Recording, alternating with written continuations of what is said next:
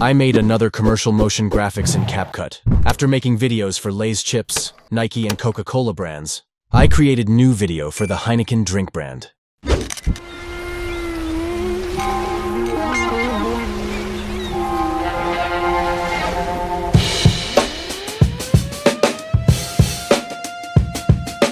Let's get started. Open CapCut and import your PNG images. Before we start, we should free layers in Modify to move layers better.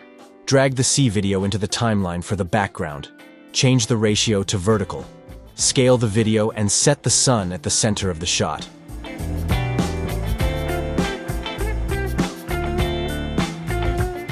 Then add the table image and put it on the second layer, scaling it and placing it at the bottom of the shot.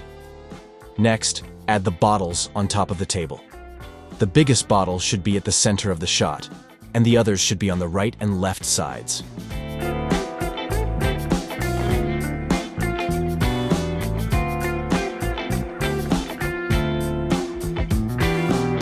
Then select all layers and increase duration. Okay, now for the table. We can change the perspective a little bit.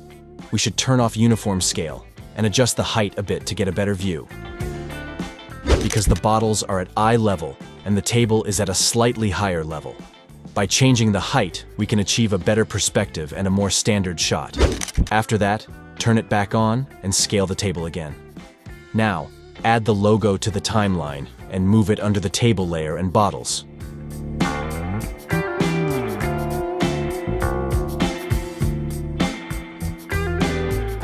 Move it to the top of the shot, with the bottles covering a little bit of the words.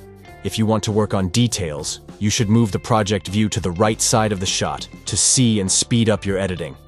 Do this only if you're editing on a vertical project, not horizontal. Now, let's adjust the position a little bit so all the bottles are in one line.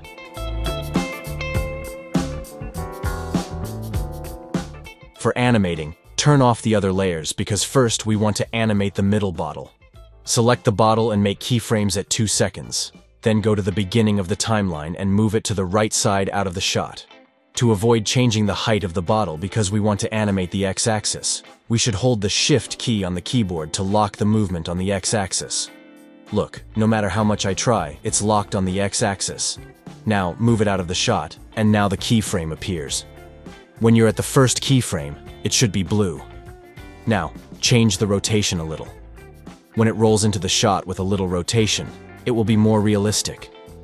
When you change the rotation, you may see part of the bottle in the corner, so we should move it a little to the right. Let's check the animation. It's very good.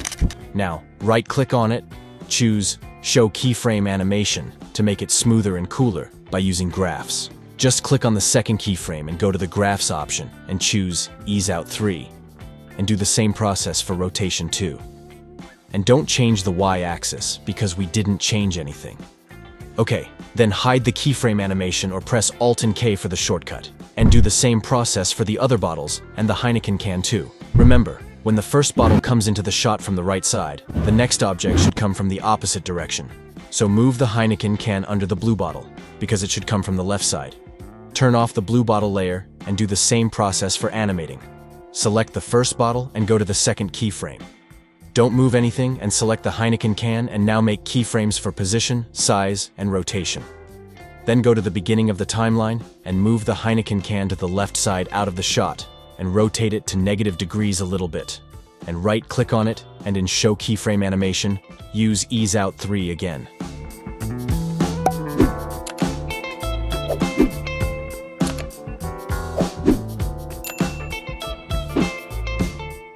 Do the same process for the blue bottle, and finally, you should have something like this. But they should come into the shot one by one, not together.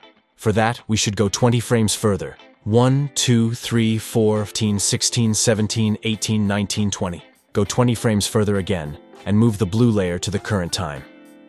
Now let's see what we made. Select all layers and cut the extra frames on the right side because 10 seconds is enough for this project. For the logo, we can use animation options. Apply slide up and increase duration to get a slower reveal, and it should stop when the bottle movements are about to end. Let's move the layer to the right side a little bit, Then increase the duration of the animation again. Before we start the next part, let's remove the movement on the background by using the Stabilize feature. For creating shadows for the bottles, select all bottle layers and create a compound clip. Then duplicate it by holding Alt and then move the layer up. Go to the basic part, rotate 180 degrees, and then mirror it. Turn off uniform scale and change the height. Then move it down under the bottle layers.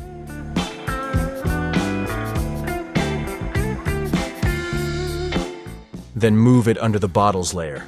Go to the adjustments layer, curve part, and reduce the brightness of all colors to zero. It becomes completely black. And it's a little too dark and strong for a shadow. Let's reduce the opacity. To make it more realistic like a shadow, we should use some effects. For a soft shadow, the best effect is motion blur because it makes the edges softer.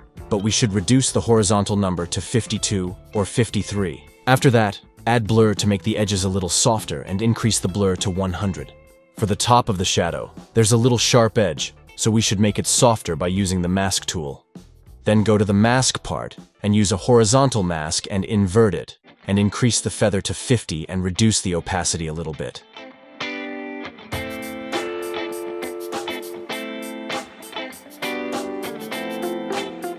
For the background, add a blur effect because our focus should be on the bottles. And reduce the blur a little bit to see the waves better. To make the shot more realistic, let's use a horizontal mask on the wood. Move it to the top of the wood, then invert the mask and increase the feather. Now, behind the bottles is out of focus, like a real camera lens when it has a range for focusing. For the next part, let's cut the logo at second 7 and move it to the top of the layers. But the text comes on the bottle, and we don't want that. First, fix the part of the logo layer that we cut. Then select the logo layer at the top and go to the mask part and choose a star mask. Change the size to fit the red star. Now add the green image under the star layer and choose the star mask. Move it under the star and make it small so the red star covers it completely.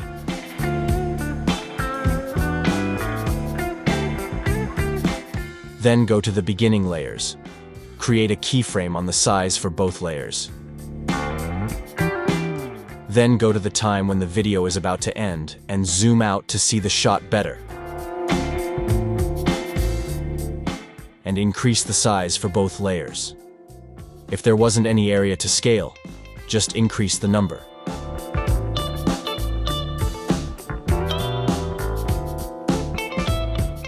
Then increase the mask feather to get a soft edge for the logo. Now select the logo layer and create a compound clip go to Basic, and create two keyframes. One of them at the current position, and for the second keyframe, set the logo at the center of the shot. I think it's better if the logo moves from the beginning when the mask reveals it. So move the first keyframe to the left side, and move the second keyframe too. Right-click on it in Show Keyframe Animation.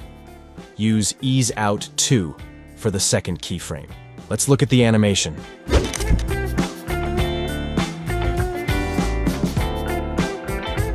Hmm, it's nice. For color grading, add an adjustment layer on top of the layers and move it under the green layer because I don't want to change the color of the brand. Increase the saturation to 10 to get a warmer shot. Then increase clarity to make the shot more fresh. Then add shadow around the corner with a vignette. Now select the table and increase saturation and clarity again. Play around with highlights and shadows to get darker wood. Just play around with numbers to make the wood more realistic and good-looking.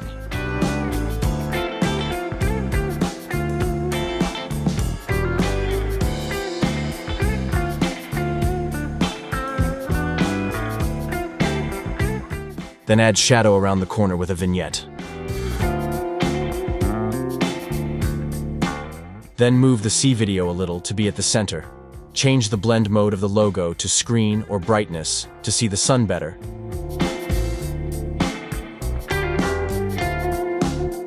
Then move the sea layer and set the sun at the center of the star.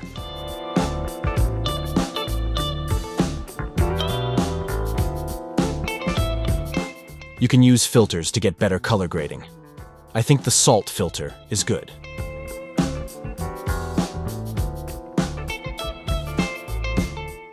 Set the strength at 50. This is before and after using the filter. Let's add some motion blur to the bottles layer to get a smoother animation. Set blur and blend to 50. Wait for the process to be done. And this is before and after using motion blur. Now the animation is smoother.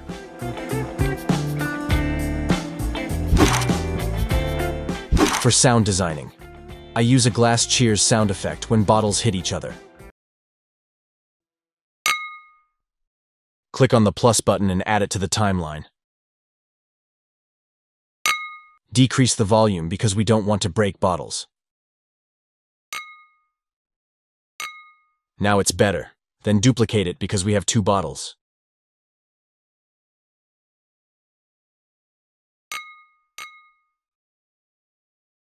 Then add sea sound with seagulls. Import it into the timeline. Cut the beginning of the sound, increase the fade a little bit to hear the ocean slowly.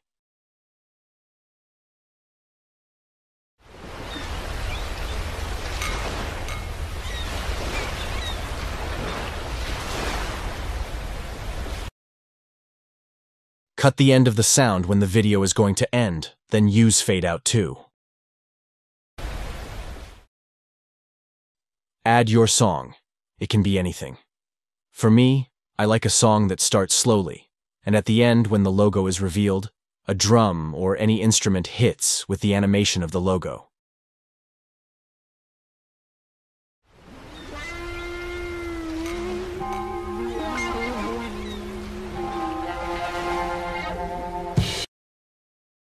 Here, the song hits with a delay, so we should cut the beginning of the layer a little bit to sync the hit with the animation of logo.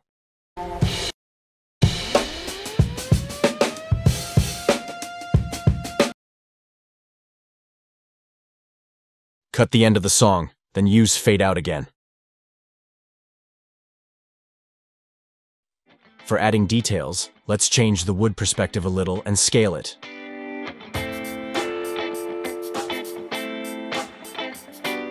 For the end of the video, let's add a light sweep by holding Alt and duplicating the logo.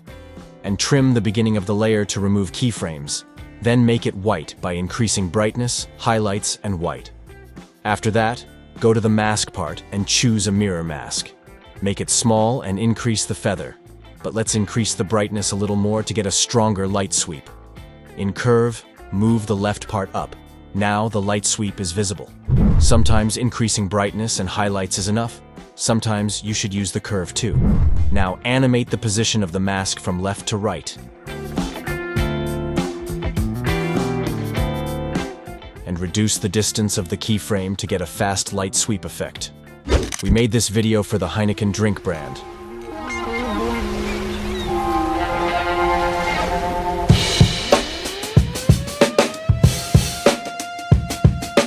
And if you want to learn more videos like this on CapCut, just watch this playlist. If you found this video helpful, like the video, subscribe, and hit the bell icon to stay updated with our latest content. And as always, stay creative.